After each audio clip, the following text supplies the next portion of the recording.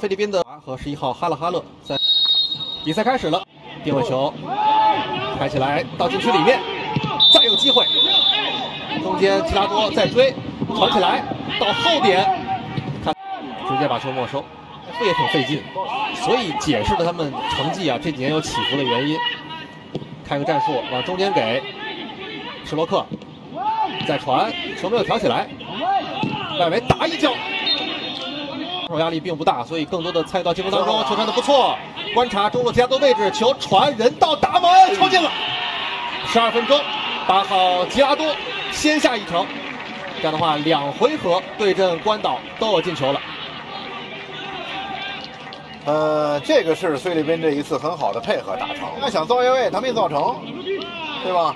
这个按说你这么防线站在这儿的时候啊，他三条线你也出禁区了。雅思在观察，中间给早打门停，再转弧顶的位置，再调整一脚打门，还有再摆脱再射又被封堵，一片乱战。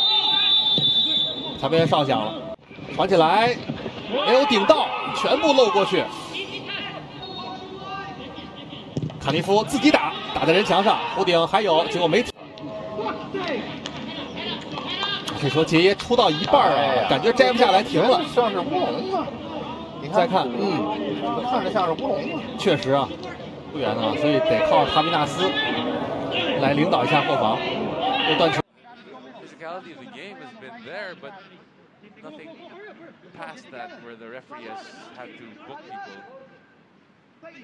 Jay Dallas trying to organize his wall to try and deal with the set piece. Ball in it's in.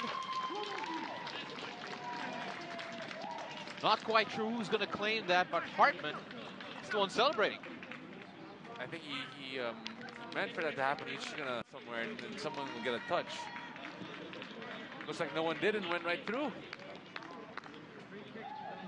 Well, Hartman